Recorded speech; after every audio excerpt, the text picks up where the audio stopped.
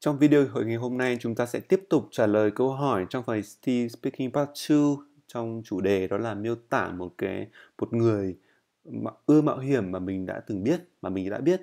Và hai câu hỏi tiếp theo đó là how do you know this person? Và what what this person does that is adventurous? Bạn làm thế nào mà biết được con người này? Thứ hai đó là tại uh, cái người này đã làm những cái gì mà bạn nghĩ rằng là mạo hiểm? Vậy thì trong bài này thì chúng ta sẽ tìm hiểu một số từ vựng chỉ là một số thôi nha chứ thực ra còn nhiều hơn nữa. Đầu tiên đó là chúng ta nhớ một cái rõ ràng một sự kiện gì đó thì ngoài từ clearly ra chúng ta có từ nào khác hay là không? À, bạn bảo là một công việc mà yêu cầu chúng ta phải chịu rất là nhiều công áp lực thì ngoài từ a lot of ra thì chúng ta sẽ phải có có một từ mà thay thế. Đối mặt với hiểm nguy hay là à, phải tiếp xúc với hiểm nguy thì ngoài từ face ra chúng ta còn từ nào khác hay là không? À, face này là động từ nhá. To face with to face hoặc là to face with dangerous đều được.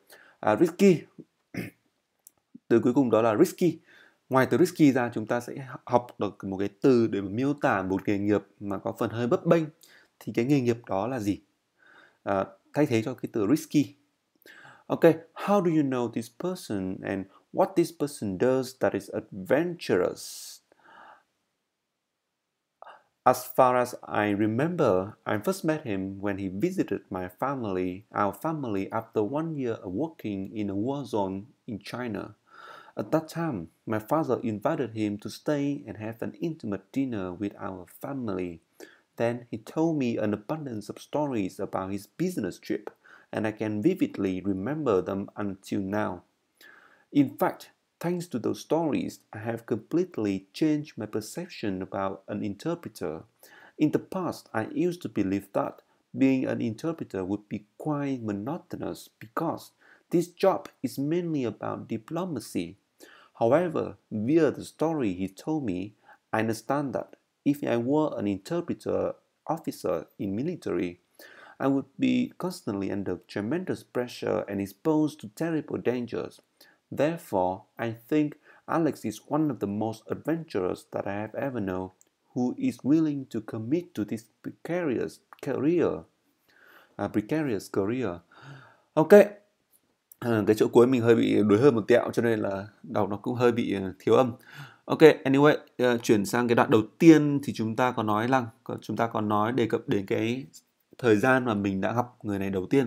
À, theo tôi nghĩ, theo tôi nhớ theo tôi nhớ thì tôi đã gặp người này đầu tiên khi mà ông ấy tham ông ấy thăm nhà tôi gia đình của tôi sau một năm làm việc tại một vùng chiến sự ở Trung Quốc. Ờ, ờ thời gian đó thì bố tôi đã mời ông ấy ở lại và có một bữa ăn ấm đã có một bữa ăn thân mật với gia đình của chúng tôi.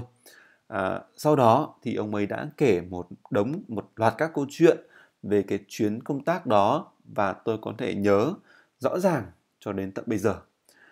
Ok, vậy thì chúng ta có một số từ vựng như sau. Đầu tiên các bạn chú ý đó là cái từ mở bài as far as I remember hoặc là as far as I can remember. Thì cái cụm từ này để mà nhấn mạnh, để mà miêu tả một câu chuyện trong quá khứ hay một sự kiện trong quá khứ mà mình không có nhớ chắc chắn lắm. Ok, tiếp theo đó là a war zone. A war zone là vùng chiến sự. Chứ cái vùng chiến sự các bạn đừng có dịch là area nhé.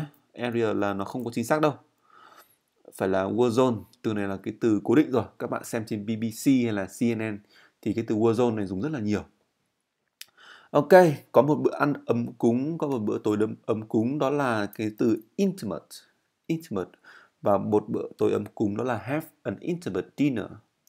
Ok, an abundance of something là a lot of.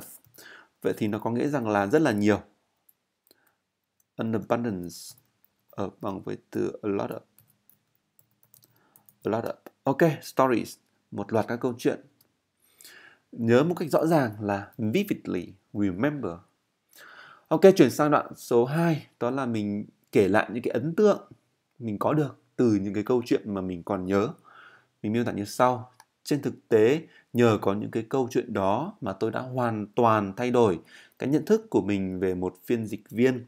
Trong quá khứ, tôi từng nghĩ rằng đó là việc trở thành viên dịch viên khá là nhàm chán bởi vì công việc này thì phần lớn là về vấn đề ngoại giao. Ok, tiếp theo nào, đoạn này hơi ngắn. Tuy nhiên, thông qua những cái câu chuyện mà ông ấy kể cho tôi tôi nghĩ rằng tôi hiểu rằng nếu tôi là một sĩ quan phiên dịch viên trong quân đội tôi sẽ thường xuyên phải chịu rất là nhiều áp lực và phải đối mặt phải tiếp xúc với những cái nguy hiểm rất là kinh hoàng vì vậy nhờ tôi nghĩ rằng alex là một trong những cái người mạo hiểm nhất mà tôi đã từng biết. Người mà sẵn sàng mà gắn bó với một cái nghề nghiệp mà bấp bênh như thế này. Ok à, mình có một số từ vựng mà các bạn nên chú ý như sau. Đó là đầu tiên nó từ monotonous chẳng hạn đúng không? Từ monotonous này sẽ đồng nghĩa với cái từ mà các bạn hay dùng. Đó là cái từ boring. Vậy thì monotonous là đơn điệu hoặc là nhàm chán uh, to be mainly about diplomacy. Diplomacy là ngoại giao nhé cái từ này thì không có gì nó nhấn mạnh cả. Nhưng các bạn hiểu là từ này là ngoại giao cái, cái vấn đề ngoại giao. Uh, my perception about my perception about perception là nhận thức hay là những cái quan điểm suy nghĩ về một cái vấn đề gì đó. Và đây mình dịch là nhận thức nhận thức về việc về một phiên dịch viên. Ok tiếp theo đó là mình có dùng một từ đó là under tremendous pressure constantly under tremendous pressure.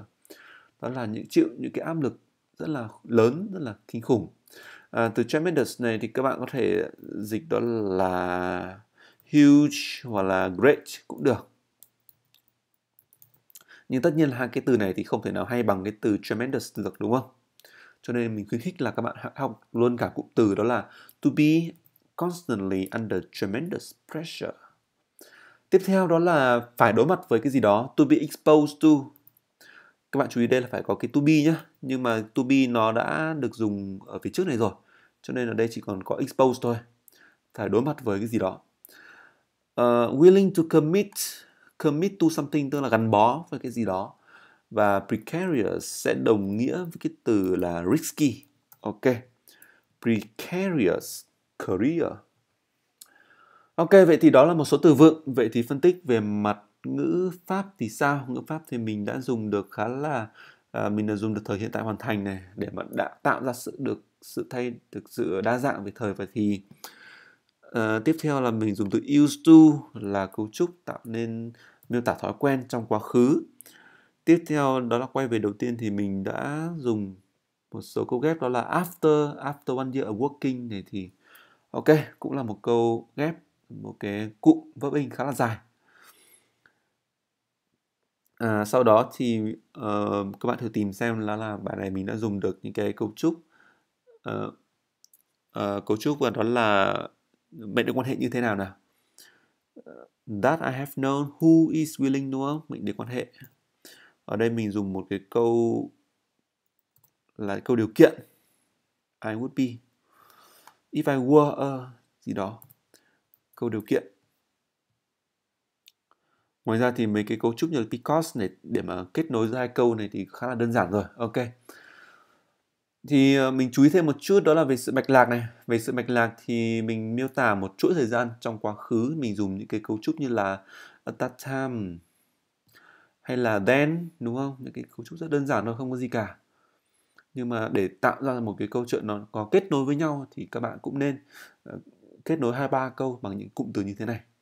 À, bổ sung thông tin thì chúng ta hãy dùng từ in fact hay là in the past để miêu tả một sự kiện trong quá khứ.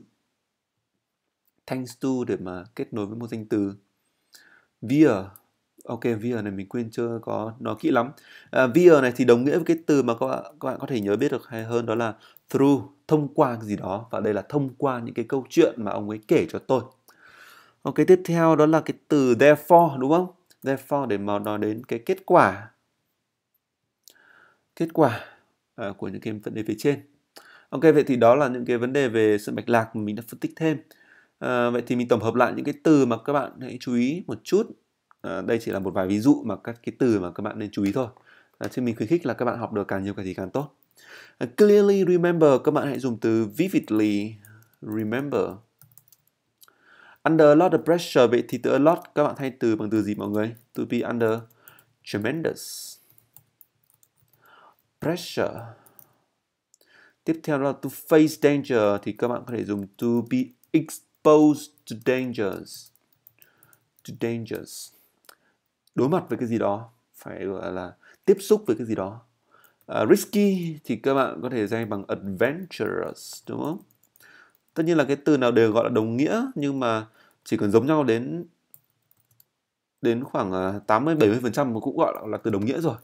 Chứ nó không bao giờ giống hệ nhau 100% cả.